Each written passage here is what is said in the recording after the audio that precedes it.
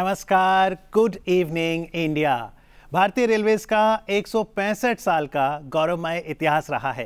देश की लाइफलाइन है रेलवेज तेरह लाख से ज़्यादा रेल कर्मचारी हैं देश भर में।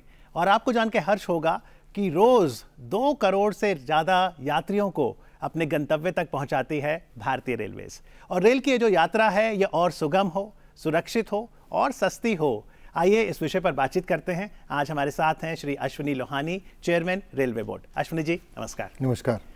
सर आपने अगस्त 2017 में ये कार्यभार संभाला तो आपका भारतीय रेल को लेकर विजन क्या है? देखिए भारतीय रेल विश्व की सबसे बड़ी ऑर्गेनाइजेशन है एक सिंगल मैनेजमेंट के अंडर में। और हिंदुस्तान की सबसे बड़ी ऑर्गेनाइजेशन है और विशाल का विशाल कार्य कर रही है इसमें। बाईस हज़ार ट्रेनें ढाई करोड़ यात्री तीन million ton traffic every day आठ हज़ार स्टेशन तेरह लाख लोग बहुत ही। और ये देश के हर कोने को जोड़ती है। विजन इसके लिए यही हो सकता है कि ये और बेहतर चले और इसमें और ग्रोथ हो। तो इन दोनों चीज़ों पे हम लोग ध्यान दे रहे हैं। तो और बेहतर जो ग्रोथ है इसे हम कैसे मापें? क्या हम कहें और ट्रेन चलें या जो ट्रेन चल रही हैं उनकी एफिशिएंसी बढ़ाएँ समय से ट्रेन पर चलें? सुरक्षा ट्रेनें सुरक्षित चलें। समय से चलें, पैसेंजर कंफर्ट अच्छा हो। जो माल भाड़े वाली गाड़ियाँ हैं, जब बुक किया जाए, जो भी जल्दी पहुँच जाए, वो भी टाइम से चलें। पैसेंजर इंटरफेस सुगम हो जाए, सरल हो जाए। हमारे क्लाइंट्स का इंटरफेस भारतीय रेल के साथ सरल हो जाए। सफ़ाई हो जाए, ट्रेनें और साफ़ हो जाएँ स्टेशन और साफ़ हो जाएँ। इसके साथ साथ ग्रोथ नई लाइनें आए, हम नए गंतव्यों को जोड़ें। हाई स्पीड ट्रेन्स लाएँ, नए तरह की कोचेज़ लाएँ, ट्रेन सेट्स लाएँ, टॉयलेट सिस्टम को इम्प्रूव करें, सिग्नलिंग को इम्प्रूव करें, इलेक्ट्रिफिकेशन करें तो इस एक तरफ़ ग्रोथ हो गया, एक तरफ़ एग्जिस्टिंग सिस्टम को ठीक करना होगा तो ये तमाम सिस्टम में जो एफिशिएंसी लानी है, इसके लिए रेल कर्मचारी का अहम योगदान रहेगा। तो सबसे पहले कार्य संस्कृति की ही बात करते हैं। इतनी विशाल संस्था को मोटिवेट करेंगे, कैसे करेंगे? क्या प्लान है? देखिए, रेलवे एक मानव प्रधान ऑर्गेनाइजेशन है। तेरह लाख लोग हैं। तो इसमें हमारा focus number one, human resource होना चाहिए, मानव होना चाहिए। फोकस नंबर टू भी ह्यूमन रिसोर्स होना चाहिए और फोकस नंबर थ्री भी ह्यूमन रिसोर्स होना चाहिए। उसके बाद सब प्रायरिटीज़ होनी चाहिए। हमको ये समझना पड़ेगा, हमारे पूरे मैनेजमेंट को, पूरे अफसरान को, अफसरशाही को, ये समझना पड़ेगा कि ह्यूमन रिसोर्स बिल्कुल प्राइमरी फोकस रेलवे का होगा। ह्यूमन रिसोर्स में अगर जोश होगा उत्साह होगा करने की कुछ भावना होगी तो अपने आप वो लोग कर लेंगे। तो गत महीने में कैसे लाए हैं आप ये जोश और उत्साह? एक तो ये बिल्कुल क्लियर करके पूरे मैनेजमेंट को क्लियर करके कि ह्यूमन रिसोर्स हमारा प्राइमरी फोकस है। जी। उनके ग्रीवेंसेस कम होने चाहिए स्टाफ को। स्टाफ को मैनेजमेंट पे फेथ होना चाहिए। स्टाफ हम्म। को मैनेजमेंट की सोच मालूम होनी चाहिए। मैं क्या चाहता हूँ स्टाफ को मालूम होना चाहिए। उनको गेस्ट नहीं करना चाहिए। हमको चोचले खत्म करने चाहिए। हम्म। चोचले हमने खत्म किए हैं बहुत ज़्यादा। जैसे? जैसे पूरे पूरे भारतीय रेल में बुकेज बैन हो गए बुकेज खत्म अच्छा, कर दिए गए। कोई अधिकारी आए फूलों से कोई अधिकारी एक दूसरे को बुकेज देना बंद हो गया है टोटली बंद हो गया किसी भी रूप में बुकेज देना बंद हो गया है।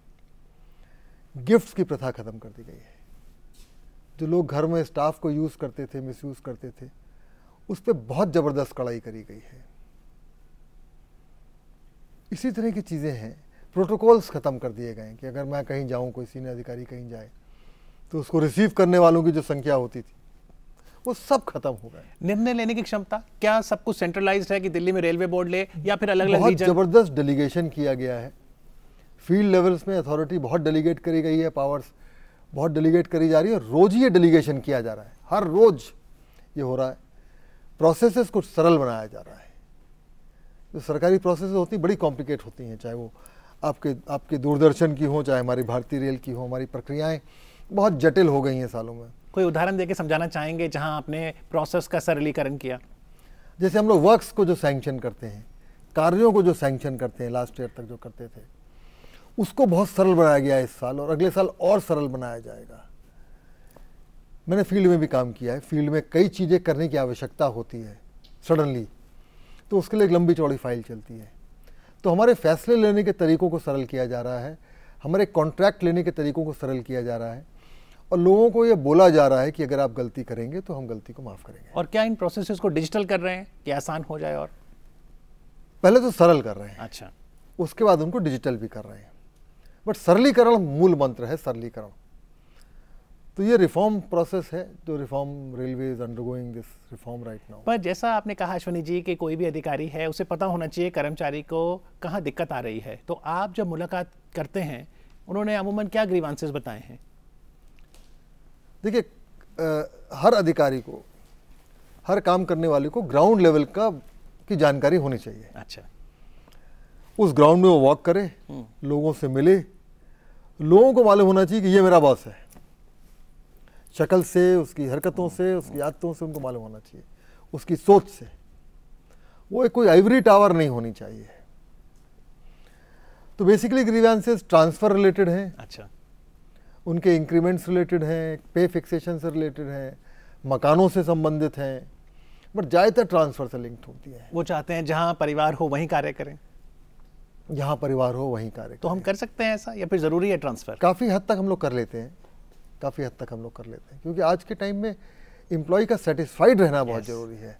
तभी वो बेहतरीन काम करेगा। तो रेलवे मौजूदा दौर में भर्तियाँ भी कर रहा है? करियर के मौके बड़े हैं? रेलवे भर्तियाँ कर रहा है करीब एक लाख लोगों को हम लोग रिक्रूट कर रहे हैं। एक बड़ी प्रक्रिया चल रही है। विश्व का सबसे बड़ा रिक्रूटमेंट ड्राइव चल रहा है इस समय। और ये पूरे पारदर्शी तरीके से है कि जो भी मेरिट का व्यक्ति हो पूरे पारदर्शी तरीके से। इसमें कोई कुछ गड़बड़ नहीं कर सकता। और पूरा कंप्यूटराइज परीक्षा होगी। और बिल्कुल फेयर परीक्षा होगी। तो जैसा आपने कहा नंबर एक प्रायोरिटी जो चेयरमैन रेलवे बोर्ड की है अश्विनी जी की कि मानव संसाधन सबसे सर्वोपरि है ये हर एक संगठन समझे और उस पर कार्य करे। दूसरा अगर मैं प्रतिस्पर्धा की बात करूँ क्योंकि आप तो एयर इंडिया के सीएमडी भी रहे तो एविएशन सेक्टर से किस तरह का कॉम्पिटिशन देखते हैं आप? एविएशन सेक्टर से मैं कोई विशेष कॉम्पिटिशन नहीं देखता क्योंकि हम जहाँ पे ढाई करोड़ लोगों को रोज लेके जाते हैं एविएशन सेक्टर करीब चार लाख आदमियों को रोज लेके जाता है। चार साढ़े चार लाख होगा। इससे ज़्यादा नहीं होगा। तो कोई इस प्रतिस्पर्धा का प्रश्न ही नहीं उठता। तो जो लो कॉस्ट करियर है उड़ान सेवा आई है उड़े देश का आम नागरिक तब भी जो रेलवे फिर भी रहेंगे देखिए रेलवे के फेयर्स अगर आप बहुत एडवांस में बुक करते हैं तो शायद रेलवे के फेयर्स लॉन्ग डिस्टेंस ट्रेन्स के फेयर्स एयर फेयर के बराबर हैं। लेकिन जैसे जैसे जाने की तारीख पास आती है जी। एयरलाइन के फेयर्स महँगे होते जाते हैं और हमारे फेयर सस्ते रहते हैं। दो महीने एडवांस में बुक करेंगे शायद आपको एयरलाइन का सस्ता फेयर मिल जाए। एयर कंडीशन क्लासेस के लिए। मैं स्लीपर और जनरल की बात नहीं कर रहा। वहाँ तो फेयर्स बहुत ही लो हैं और बस के वन थर्ड फेयर के हैं। अच्छा। लेकिन एयर कंडीशन क्लासेस में अगर आप एक महीने बाद या पंद्रह दिन बाद जाने की बात करें तो डेफिनेटली हमारे फेयर्स एयर फेयर से कम होंगे। जी, बिल्कुल, और यात्री, कृपया ध्यान दें कि आज हम बातचीत कर रहे हैं अश्विनी लोहानी जी के साथ, जो कि चेयरमैन हैं रेलवे बोर्ड के, और यदि आप भारतीय रेलवे से संबंधित कोई सवाल उनसे करना चाहें तो हमारी फ़ोन की लाइन खुली है। आप सीधा फ़ोन कर सकते हैं इस नंबर पर। शून्य एक एक एस कोड लगाइए, और नंबर है दो तीन शून्य नौ सात पाँच तीन दो। That's two three zero nine seven five three two sir भारतीय रेल की जब भी बात होती है तो सेफ्टी बहुत इंपॉर्टेंट है। तो सुरक्षा और मज़बूत हो इसको लेके आपने क्या कदम उठाए हैं? हम्म, सुरक्षा हमारी प्रायोरिटी नंबर वन है। अच्छा। हमारी सबसे बड़ा फोकस वाला एरिया सुरक्षा है। हम चाहते हैं कि हमारे यात्री बिल्कुल सुरक्षित ट्रैवल करें उनको किसी किस्म का कंसर्न नहीं होना चाहिए। भारतीय रेल एक बहुत ही सेफ़ ऑर्गेनाइजेशन लास्ट ईयर कुछ घटनाएँ हो गई थी जिसकी वजह से थोड़ा कंसर्न हो गया था। जी। लोगों के दिमाग में लोगों के मस्तिष्क में कंसर्न था सेफ्टी का। जी। वो कंसर्न बिल्कुल निकाल दें। हम लोग बहुत सेफ़ हैं क्योंकि हम लोग का मानना है कि हमारा फोकस प्राइमरी फोकस सेफ्टी है। ये पूरे स्टाफ को बताया गया है। डाउन द लाइन तेरह लाख लोगों को ये बात से वाकिफ कराया गया है कि आपका प्राइमरी फोकस सेफ्टी है आप किसी भी तरह की अनसेफ कंडीशन में गाड़ी नहीं चलाएँगे। किसी भी तरह का आप रिस्क नहीं लेंगे गाड़ी की सेफ्टी के साथ। मैनेजमेंट रेगुलरली ग्राउंड लेवल में जा रही है। अच्छा। लोग मिल रहे हैं स्टाफ से। उनको बताया जा रहा है। सेफ्टी से संबंधित जो दिक्कतें थी जो मेंटेनेंस के लिए वक्त नहीं मिलता है वो समस्या ख़त्म कर दी गई है। ट्रैकों की मरम्मत के लिए हमारे ओवरहेड इक्विपमेंट की मरम्मत के लिए सिग्नलों की मरम्मत के लिए ट्रेन्स की मरम्मत के लिए जितने वक्त की आवश्यकता है उतना वक्त दिया जा रहा है। क्योंकि पहले यही एक चुनौती थी कि भाई मेंटेनेंस के लिए समय निकालेंगे तो जो हमारी ट्रेन जा रही है वो रुक जाएँगी। वो लेट हो जाएँगी। पंक्चुअलिटी इफ़ेक्ट हाँ पंक्चुअलिटी इफ़ेक्ट हुई है हम लोग बट पंक्चुअलिटी से ज़्यादा इम्पोर्टेंट है सेफ्टी तो आप ये कह रहे हैं मेंटेनेंस के लिए जो समय चाहिए वो अप्रूव किया समय दिया जा रहा है। पर सर जैसे एविएशन सेक्टर में हम देखते हैं कि अब हर रोज एयरलाइन कहती है अपने आप मार्केटिंग जब करती है कि जी ऑन टाइम परफॉर्मेंस मेरी ये रही। भारतीय ट्रेन की अगर बात करें देश भर में कितनी फ़ीसदी ट्रेन समय पर चलती हैं और समय पर पहुँचती करीब पैंसठ से सत्तर फ़ीसदी ट्रेनें समय पे चलती हैं। तो तीस फ़ीसदी ट्रेनें समय से समय पर नहीं चलती हैं। तो फिर वो यात्री जो अगर लेट हो इसको जाए एयरलाइन से कंपेयर नहीं कर सकते। अच्छा। ट्रेनें सब एक ही पटरी पे चलती हैं एक के पीछे एक के पीछे एक अगर आगे वाली रुक गई तो पीछे वाली भी रुक गई। हम्म, हवाई जहाज़ तो खुले आसमान में उड़ता है। जी। उसका एक के पीछे एक से कोई रिलेशन नहीं है। हाँ किसी थोड़ा रिलेशनशिप ज़रूर है एयरपोर्ट्स पे। लैंड करते Landing समय या टेक ऑफ़ करते समय वहाँ एक के पीछे एक अच्छा। होना पड़ता है। बट पूरा जो रास्ता है वो उसका खुले स्वच्छंद आसमान में उड़ता है लेकिन स्वच्छता के लिहाज से अगर देखें क्योंकि बहुत से पैसेंजर चाहते हैं कि स्वच्छ ट्रेन हो और स्वच्छ भारत का संकल्प भी भारत ने लिया है। बायो बायो टॉयलेट्स की बात होती है वहाँ किस तरह की प्रगति है? बायोटॉलरेंस में बहुत ज़बरदस्त प्रगति है। हम लोग का पूरा प्रयास है कि दिसंबर इस साल तक या अगले साल मार्च तक मार्च 19 तक जितने भी हमारे टॉयलेट्स हैं वो सब बायो टॉयलेट्स हो जाएँगे। और इससे लाभ क्या होगा? इससे लाभ यह है कि जो आपका ट्रैक पे गिरता था वो नहीं गिरेगा। अच्छा। तो पूरी स्वच्छता है और ये कॉस्ट इफ़ेक्टिव भी हैं बायो टॉयलेट्स? ये कॉस्ट इफ़ेक्टिव भी हैं और बहुत ही अच्छी टेक्नोलॉजी है और बहुत ही एक मेजर क्योंकि एक तो गंदगी फैलाते थे। जी। उसके अलावा हमारा मेंटेनेंस भी इफ़ेक्ट करता था। जी। क्योंकि जब ट्रैक में आपका matter रहेगा, जी। तो उसका मेंटेनेंस भी इफ़ेक्ट हो जाएगी। करोजन भी होगा। ट्रैक्स का करोजन की प्रॉब्लम थी बहुत मेजर और स्टेशन पे आप खड़े रहते हैं आप सबके सामने गंदगी दिखाई पड़ती है तो वो सब चीज़ें नहीं होंगी। जी इस और सफ़ाई पे इसमें बहुत ज़बरदस्त ध्यान है भारतीय रेल का। अच्छा। ट्रेनों की सफ़ाई में स्टेशन की सफ़ाई में तो आपको काफ़ी फ़र्क दिखेगा। बहुत ज़बरदस्त फोकस है। ट्रेनों की सफ़ाई स्टेशन की सफ़ाई और वर्किंग स्पेसेस की सफ़ाई। हम चाहते हैं जहाँ हमारा स्टाफ काम करता है वो एरियाज़ भी साफ़ हों स्वच्छंद हों वेल ऑर्गेनाइज हों। जी। तो इन सब पे बहुत फोकस है। जी अश्विनी जी इस समय पहले कॉलर फ़ोन लाइन पर हमारे साथ हैं। आइए उनका प्रश्न लेते हैं। हेलो। जी नमस्ते अपना सवाल पूछिए। हेलो? जी सवाल पूछिए प्लीज़ हेलो? जी सवाल पूछें।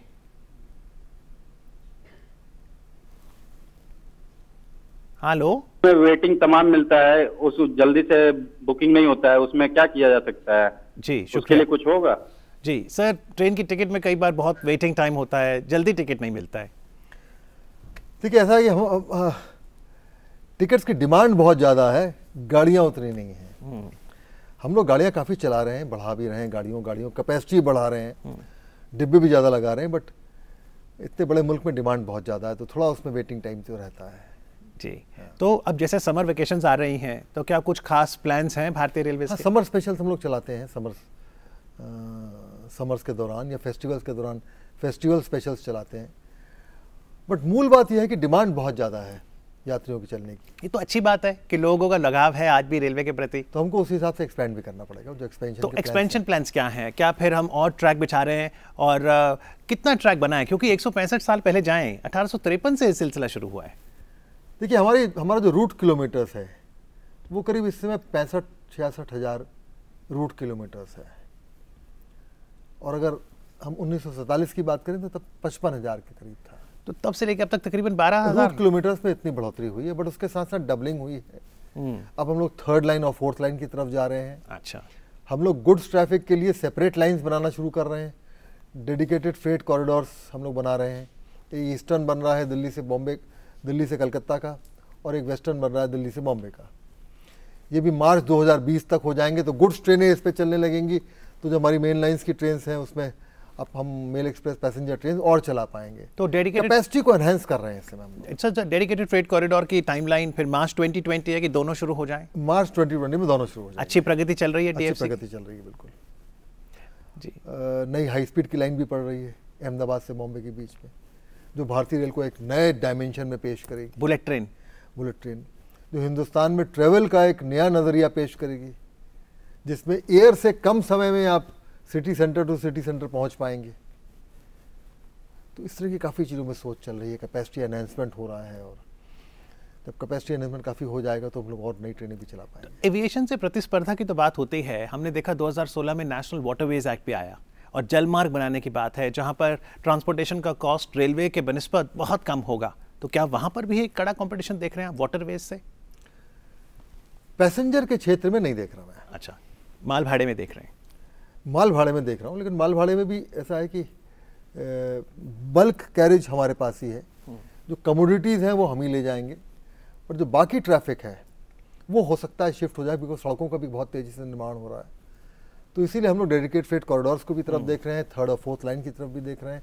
इन सब चीज़ों में भी काम कर रहे हैं जिससे हम वहाँ भी अच्छी प्रतिस्पर्धा दे पाएँ। अभी हम पैंतीस परसेंट करीब कैरी करते हैं हिंदुस्तान का जो माल भड़ा है। अच्छा। हम चाहते हैं बढ़े।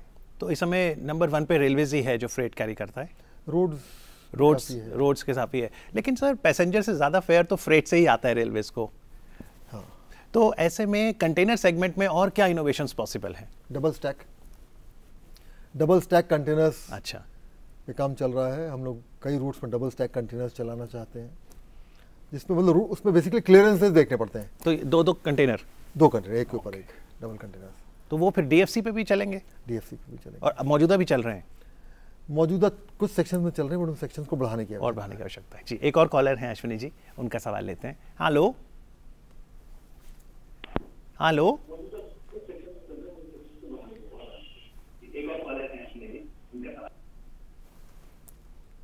जी अपनी टेलीविज़न की आवाज़ कम कर दीजिए प्लीज़ हेलो मैं हाँ। आरा से बोल रही हूँ। जी। बिहार से? जी। पूछिए।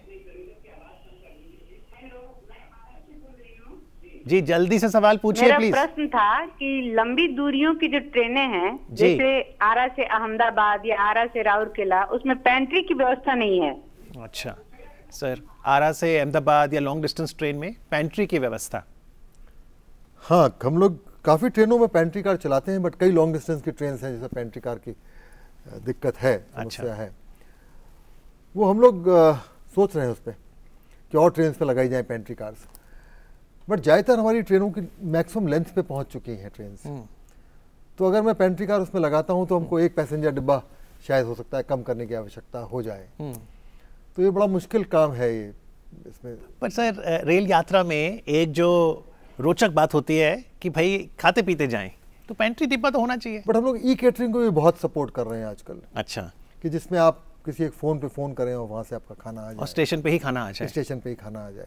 तो ई केटरिंग को बहुत बढ़ावा दे रहे हैं। तो ज़रूरी नहीं कि पेंट्री कार फिर हो हर एक ट्रेन में। बिल्कुल बिल्कुल। क्योंकि किसी बड़े स्टेशन को जो पास करेगी वहाँ पे आपको खाना मिल जाएगा। हम्म, लेकिन पेंट्री का भी जो खाना है कई बार तो अच्छा लगता है। कई बार ग्रीवांस उसको भी लेके आती है। विवांस उसको भी लेके आते फिर क्या कदम है हमारे पास? देखिए हमको खाने को सरल करना पड़ेगा। हम्म, हमको मिनी मील्स की तरफ़ जाना पड़ेगा। ठीक है। हम जो पूरा देते हैं दाल चावल रोटी सब्ज़ी अचार सलाद सब मिला के पापड़ सब कुछ देते हैं। उसको सरल करना पड़ेगा जैसे आप हवाई जहाज़ में जाते हैं तो आपको बड़ा सिंपल खाना जी मिलता है। जी। एक छोटे से कैसरॉल में पैक्ड होता जी। है चाहे पुलाव के साथ रायता होता है या दाल हो गई। दाल हो गई और सब चावल हो गया। तो हमको उसी तरह का मिनी मील टाइप के कंसेप्ट पे जाना पड़ेगा। और ई कैटरिंग को और बढ़ावा देना पड़ेगा। तो इन दोनों दिशाओं में हम लोग आगे बढ़ रहे हैं। तो ई केटरिंग में यदि मैं यात्री हूँ ऑर्डर करता हूँ तो वो विश्वसनीय व्यक्ति है जिसको विश्वसनीय रेलवेज ने अप्रूव किया है। जिसको रेलवे ने अप्रूव किया है। जी बिल्कुल ठीक। इस समय एक और हाँ, जी। जैसे आपके पास बीकानेर वाले का खाना या अच्छा। इस टाइप की चीज़। Branded quality staff Branded quality जी एक और कॉलर हैं। हेलो जी प्रश्न पूछिए जल्दी से। हेलो हाँ। जी सवाल पूछिए प्लीज़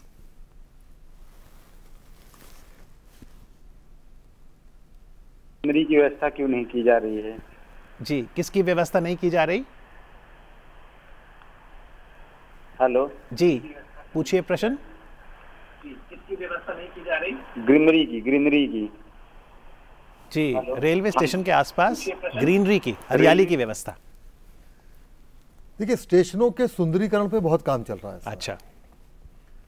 हम लोग सब स्टेशन पे बेसिक फैसिलिटीज़ दे रहे हैं। लोकल आर्ट ला रहे हैं वहाँ पे।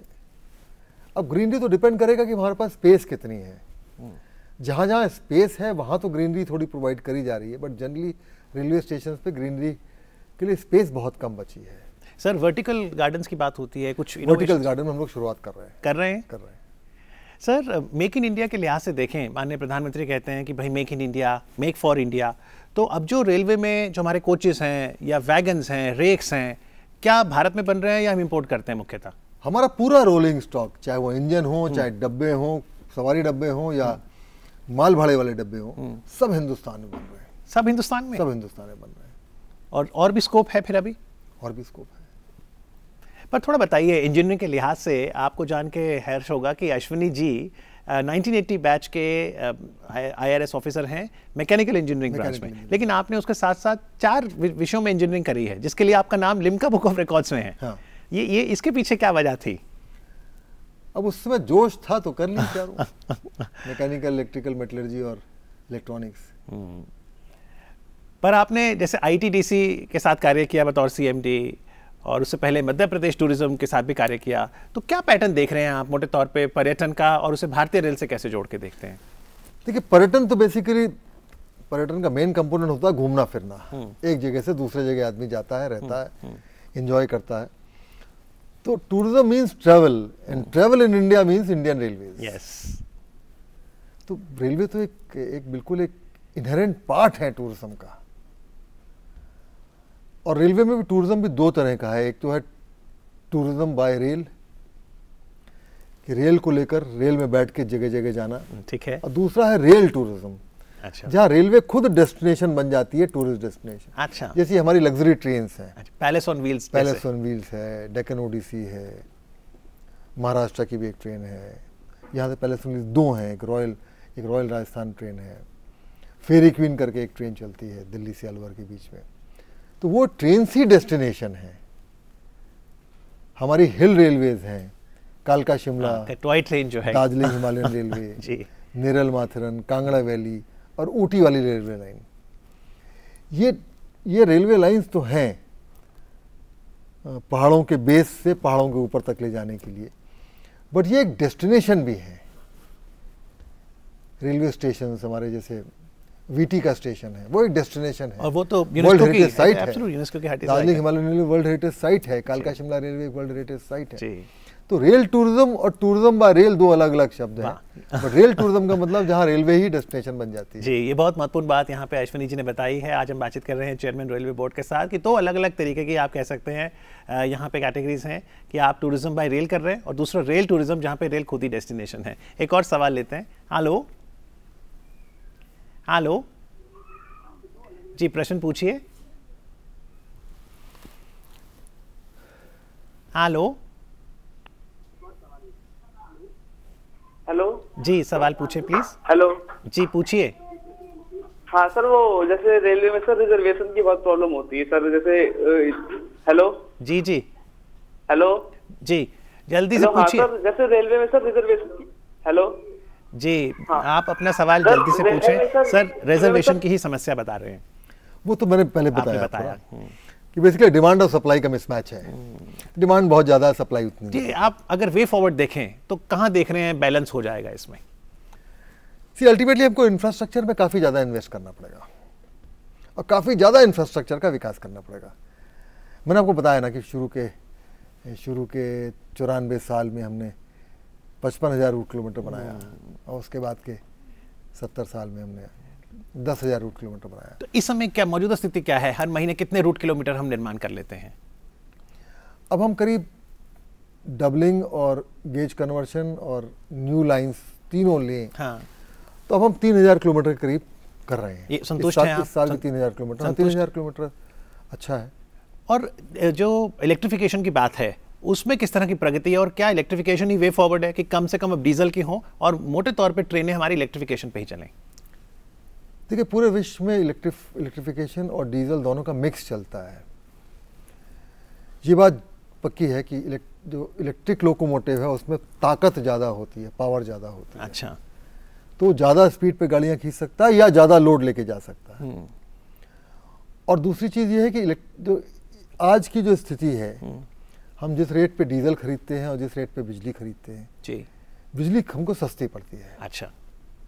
अगर हम कॉस्ट टू रेलवेज लें तो इसलिए इलेक्ट्रिफिकेशन में हम लोग तेज़ी से आगे बढ़ रहे हैं। तो जितना ज़्यादा इलेक्ट्रिफिकेशन होगा हम कह सकते हैं आने वाले सालों में सेविंग्स होगी रेलवेज के पास। रेलवेज की रेलवेज की सेविंग्स होगी कि नहीं होगी ये तो नहीं बोल सकता मैं। अच्छा। बट रेलवे के खर्चे में कमी आएगी। ऑपरेटिंग रेशो बढ़ेगा अच्छा होगा। ऑपरेटिंग रेशियो में इम्प्रूवमेंट होना चाहिए। इम्प्रूवमेंट नहीं हुआ तो अगर ज़्यादा डिटोरेशन हो रहा है तो उतना डिटोरेशन नहीं होगा। तो इलेक्ट्रिफिकेशन डीजल के साथ कोई स्टीम इंजन भी देखने को मिलते हैं अब? स्टीम इंजन बिल हम स्टीम इंजन भी चलाते हैं फेरी क्वीन करके ट्रेन अच्छा, चलाते हैं जो दुनिया अच्छा। की सबसे पुरानी ट्रेन है। वो रेल टूरिज़्म के अंतर्गत? वो रेल टूरिज़्म के का रेवाड़ी में एक स्टीम इंजनों का शेड है अच्छा। जहाँ पे 10-12 स्टीम इंजन है वर्क चालू हालत में। अभी हमने 12 12 अप्रैल को दिल्ली से नई दिल्ली एक स्टीम ट्रेन चलाई थी। दार्जिलिंग में स्टीम ट्रेन है कालका वैली कालका शिमला में स्टीम इंजन एक है जो चार्टर चलाता है कांगड़ा वैली में है ऊटी लाइन में है और निरल माथेरन में भी स्टीम इंजन चलाया गया है। और आप यात्रियों को कहेंगे कि स्टीम इंजन की भी एक यात्रा जो है अलग एक मज़ा होता है उसका? अभी हम लोग 15 जून को जो यहाँ पे बाल भवन है वहाँ अच्छा। पे एक स्टीम इंजन है बहुत पुराना। हाँ हाँ जी। नेहरू जी को भेंट किया गया। जी। उस स्टीम इंजन को भी हम ठीक कर रहे हैं अच्छा। और उसको वापस लाइफ में ला रहे हैं। अरे वाह। और रेल म्यूज़ियम के अंदर भी स्टीम इंजन दो तीन चलते हैं। जी। शनिवार इतवार के दिन। जी। तो ये तो एक विरासत है विश्व की विरासत है भारतीय रेल की विरासत है। जी बिल्कुल। और रेल की जो विरासत है उससे जुड़ने के लिए आप रेल म्यूज़ियम भी ज़रूर जा सकते हैं। इस समय एक और कॉलर हैं अश्विनी जी उनका सवाल लेते हैं। हेलो हेलो हेलो जी सवाल पूछिए प्लीज़ हेलो जी पूछिए सवाल। Hello hello. हेलो। जी सवाल पूछें। हेलो। हेलो। हेलो। जी लगता है आप तक हमारी आवाज़ नहीं पहुँच रही। Ashwini ji public private partnership की अगर बात करें तो रेलवेज में क्या आने वाले समय में पीपीपी मॉडल और देखने को मिलेगा? डेफिनेटली हमको मतलब अपनी जो स्ट्रेंथ है उसको लिवरेज करना है। और पीपीपी मॉडल्स को और आगे और, और आगे ले जाना है चाहे वो नई रेल लाइनों का निर्माण हो। जी। रोलिंग स्टॉक को इंट्रोड्यूस करना हो डिब्बे डिब्बे और लाने हो सर्विसेज़ में इजाफा करना हो तो पीपी मॉडल में हम लोग बिल्कुल उसमें आगे बढ़ेंगे। और चलते चलते क्योंकि निवेश चाहिए होगा जिस तरह का आपने कहा डिमांड और सप्लाई को मैच करने के लिए एफडीआई इन रेलवेज क्या वो भी एक स्रोत है कि विदेशी पूंजी आए और रेलवेज में? अभी डायरेक्टली तो एफडीआई नहीं आ रहा है बट अच्छा। अभी तो हम यहीं के इन्वेस्टमेंट से हम काफ़ी इजाफा कर तो लेकिन प्राइवेट इन्वेस्टमेंट वालों ने इंटरेस्ट दिखाया है जिस तरह रेलवे की ग्रोथ स्टोरी रही है? Definitely railway will be a very interesting story for anybody because because in India railways is the primary means to travel yes the amount of goods and the amount of passengers which we are carrying yes that is going to go up continuously is going to go up तो चलते चलते अश्विनी जी जो passengers आपको देख रहे हैं और बड़ी अपेक्षा रखते हैं वो रेलवे से बतौर चेयरमैन रेलवे बोर्ड क्या कहना चाहेंगे पैसेंजर्स को? मैं उनसे कहना चाहूँगा कि भारतीय रेल आपकी अपनी रेल है। एक तो इस पर पूरा भरोसा रखिए। हम लोग बहुत सेफ़ हैं। और इसको साफ़ रखें। इसमें गंदगी ना फैलाएँ। Yes, ना yes, स्टेशनों पे yes. ना ट्रेनों पे। हम लोग अपना प्रयास कर रहे हैं बट हमको आपकी मदद की आवश्यकता है खासतौर से सफ़ाई के मामले में। और रेल यात्रा पे जब छोटे होते थे निबंध आता था तो रेल यात्रा को कैसे आप परिभाषित करेंगे? कितनी रोचक होती है रेल यात्रा? वह रेल यात्रा एक हॉलिडे होती है। यात्रा itself is a destination देखा जाए। मतलब एक ट्रेनों के अंदर एक पूरा हिंदुस्तान सफ़र करता है। कोई आदमी साउथ का होता है कोई ईस्ट का होता है कोई नॉर्थ का होता है। आप डिफरेंट तरीके के लोगों से मिलते हैं। ट्रेन में बैठ के खाना खाने में एक अलग आनंद आता है। आप डिफरेंट स्टेशन पे उतरते हैं। नए नए स्टेशन देखते हैं नए नए शहर देखते हैं। उस शहर का कल्चर को देखते हैं। तो एक रेल यात्रा में बचपने से हर आदमी का एक एक रेल रेलवे के प्रति एक आकर्षण होता है जी। जो बचपने में ही पैदा हो जाता है आकर्षण। और पूरी ज़िंदगी चलता है। इनफैक्ट रेलों के प्रेमी बहुत हैं। जी। पूरे वर्ल्ड में और हिंदुस्तान में भी बहुत प्रेमी जी। जो प्रेम करते हैं जी। बिल्कुल तो रेल यात्रियों और रेल प्रेमियों के बिहाफ पर मैं आपको शुभकामनाएँ देता हूँ। और आज रेल यात्रा पर और रेल विकास पर चर्चा करने के लिए अश्विनी जी आपका बहुत बहुत आभार। Thank you very much thank you thank you all the best